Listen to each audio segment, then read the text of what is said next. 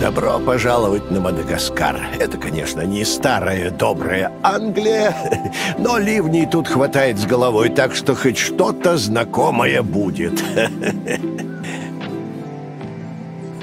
Хм, что ты думаешь о Мадагаскаре?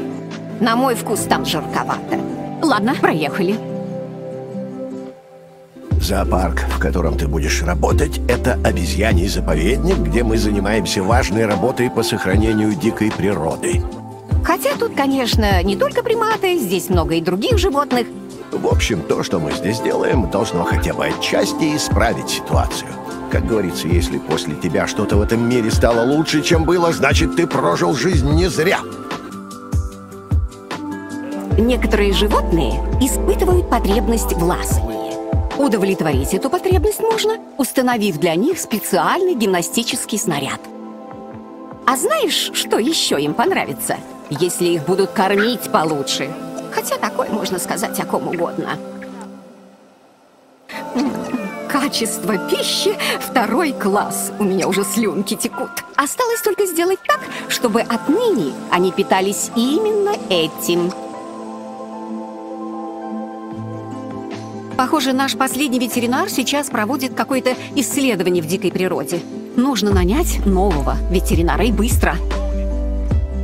Похоже, что вместе со старым ветеринаром из зоопарка ушли и механики. Без механика, способного выполнить ремонт, на барьерах будут появляться трещины, после чего они начнут постепенно разрушаться и в итоге развалятся на части. Глазом моргнуть не успеешь, как по зоопарку будут гулять сбежавшие животные.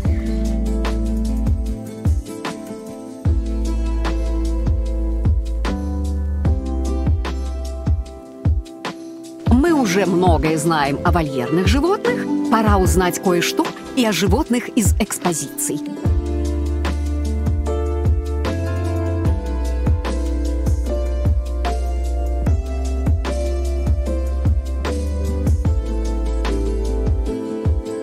Интересные животные? Замечательно. Теперь наши посетители смогут больше узнать о нашем ядовитом друге.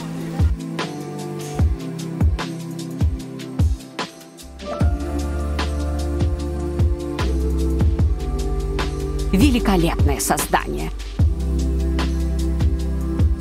А теперь поговорим об одной из важнейших целей зоопарка – возвращение животных в дикую среду. Но как понять, что животное уже готово?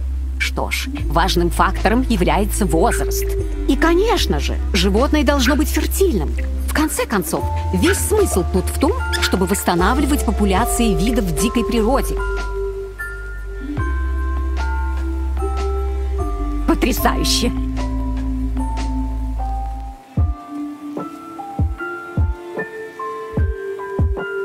Они ведь просто невероятные, правда?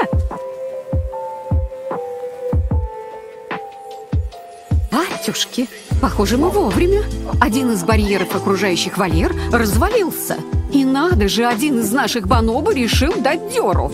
Судя по всему, кто-то отвлекся от своих обязанностей. Да уж, ситуация не самая приятная.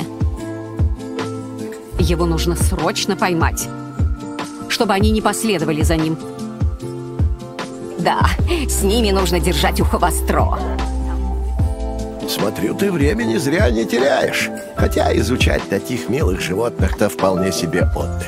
Вот бы вся наша работа была связана с милыми зверушками, тогда можно было бы сэкономить на отпуск. Хорошо, у меня для тебя важное задание. Давай за работу, поговорим, когда будешь заканчивать.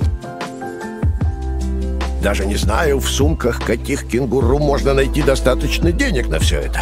Тяжело, когда так много тратишь на благополучие животных, но зачем вообще управлять зоопарком, если не ради помощи животным?